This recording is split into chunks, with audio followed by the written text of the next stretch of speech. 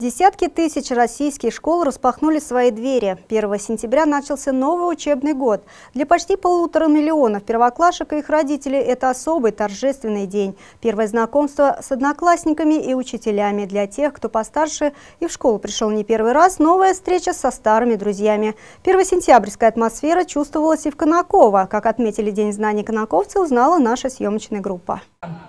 Заранее купленные цветы и воздушные шарики. В Конаково в этот день прокатилась волна детских радостных эмоций, а за ней вторая – мандраж родителей за своих отпрысков. 1 сентября – это праздник, который связывает эпохи. Удивительно, учителя меняются, дети приходят новые, а День знаний празднуют почти так же, как десятки лет назад.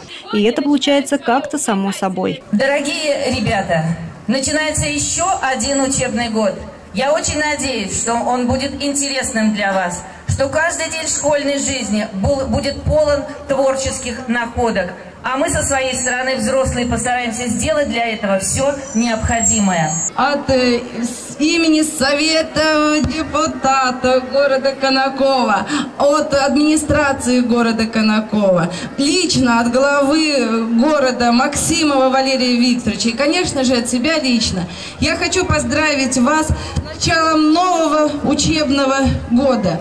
Глядя на вас сегодня, вот таких отдохнувших, загоревших, готовых покорять новые вершины знаний, хочется сказать вам, молодцы, так держать.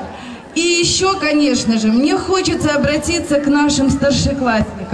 Дорогие ребята, э, вот у нас сегодня новые ученики, наши первоклашки. Им, конечно же, трудно немножечко, немножечко сложно. И мне очень хочется попросить вас, чтобы вы стали для них настоящими старшими товарищами.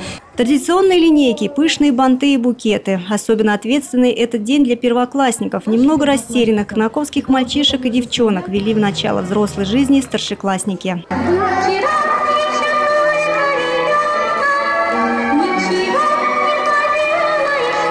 Стоящие рядами загорелые школьники с хризантемами и астрами, волнующиеся учителя, с речами и проникновенными напутствиями. В этой праздничной суматохе не потеряться бы и расслышать, что там говорит учительница. А тут еще родители с фото и видеокамерами просят улыбаться и очень боятся пропустить момент, когда их ребенок переступит порог школы. Все ждали только одного, когда праздничное утро наполнится звуками школьного звонка. Знание у нас. Звени же звонок в добрый путь, добрый yes.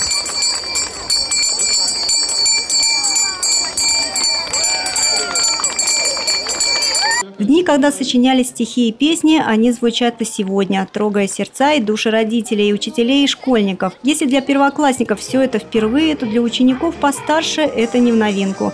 Они знают, что начало учебного года лишит их возможности высыпаться по утрам и гулять сколько хочешь по вечерам. С легкой грустью вспоминают о лете. Радует только встреча со своими старыми друзьями и любимыми учителями. Все хорошее у нас называем первый класс. От Камчатки Арбата в этот день в стране у нас пер, первоклассные ребята поступают в первый класс.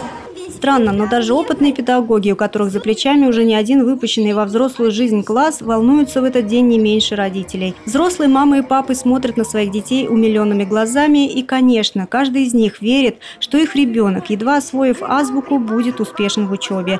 А может, кто-то из детей и действительно решил стать новым Пушкиным или Пифагором. Это покажет время. Ну а первый учебный день только один урок и сразу домой. Такая привилегия для первоклассников, хотя они, конечно, еще не знают, знают, как приятно приходить всего на один урок. Может быть, поэтому на линейку пришли не все старшие классы. Старичкам-то давно известно, что 1 сентября – это не только праздник, но еще и окончание каникул.